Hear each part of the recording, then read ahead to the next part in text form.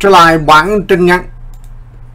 Trở lại có sự kiện của ông Ken Paxson liên quan đến chủ tịch quốc hội của đảng Cộng hòa ở Hạ viện tiểu bang Texas đã lãnh đạo một nhóm của đảng Cộng hòa và đảng Dân chủ đi trước với cái lá phiếu bầu cử cho Ken Paxson tổng trưởng lý của tiểu bang Texas.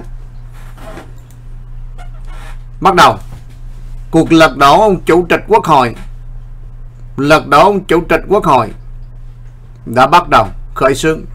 Còn vấn đề thành công hay không, chúng ta hoàn toàn không biết được một doanh nhân ở phía đông của tiểu bang Texas tuyên bố tranh cử với chủ tịch Hạ viện đó là ông Dale Phelan, Dale Phelan, Daniel Phelan, Dale Phelan là cái nhân vật mà phim bên tay trái cái màn ảnh của chúng ta. Để tôi cho vị coi nè. Bây giờ để tôi vẽ chữ acne chứ thật sự những nhân vật này tôi chướng mắt. Về góc độ chúng ta thấy là gì cái đảng Cộng hòa tại tiểu bang Texas rất là worry nha quý vị, rất là lo lắng nha. Lo lắng, rất là lo lắng nha quý vị. Đây, cái nhân vật phía bên tay trái của chúng ta đó là Del cái thằng cha mà đeo cái thai đó.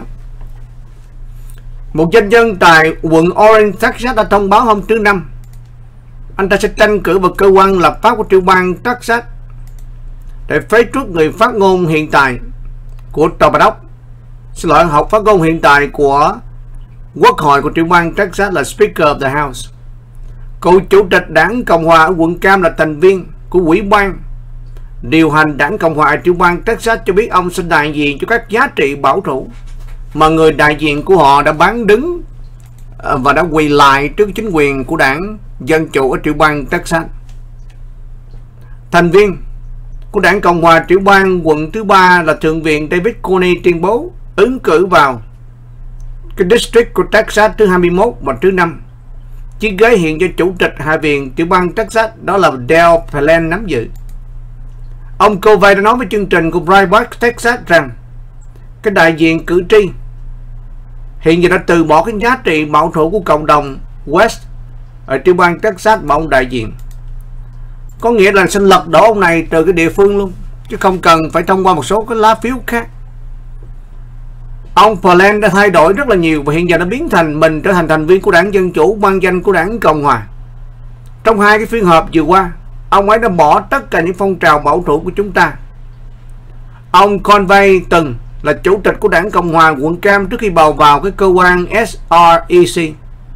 Là một người đại diện cho những cử tri nhiều năm. Tôi hiểu cái mối quan tâm của họ về những gì xảy ra tại Hạ viện của tiểu bang Texas.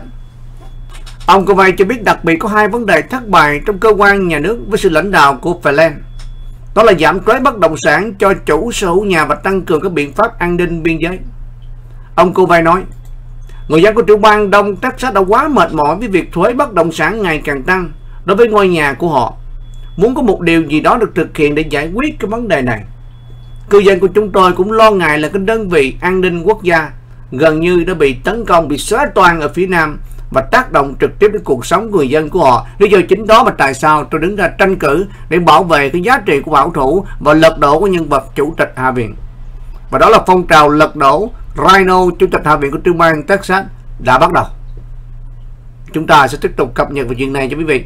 Xin chào tạm biệt và hẹn gặp lại trong chương trình tiếp theo. Chào tạm biệt.